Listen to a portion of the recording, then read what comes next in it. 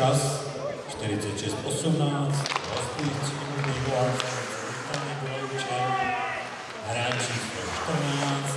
Zdenica Tomáš. Dvě minuty od.